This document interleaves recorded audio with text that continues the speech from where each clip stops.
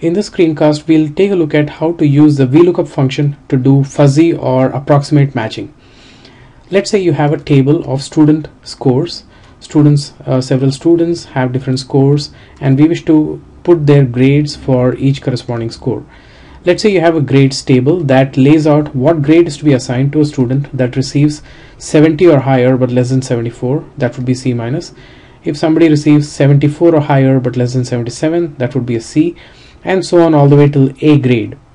So what you would do is then you can just type in equals VLOOKUP and the lookup value is the score of the student which is what you want to look up in this table.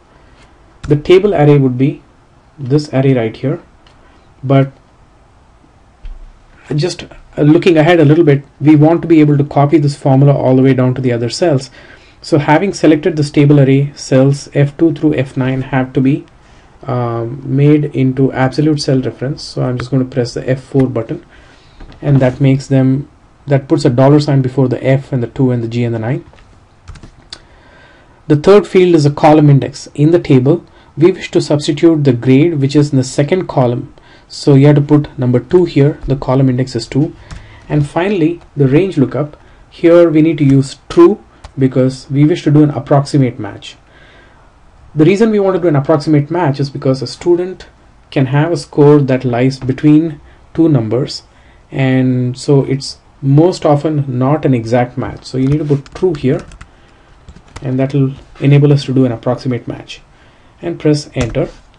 I just want to remind uh, one thing and that is that the table here has to be sorted in the ascending order. That means the lowest score has to show up at the top and the highest score has to show up at the bottom.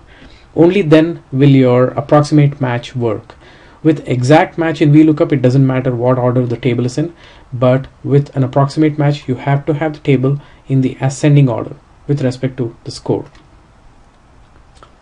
So now that we have this VLOOKUP, we can just copy this to the rest of the cells and you can see that the, appro the appropriate grade has been posted. So uh, that's uh, that's how you do VLOOKUP with fuzzy match. I hope you enjoyed this video. Thanks for watching.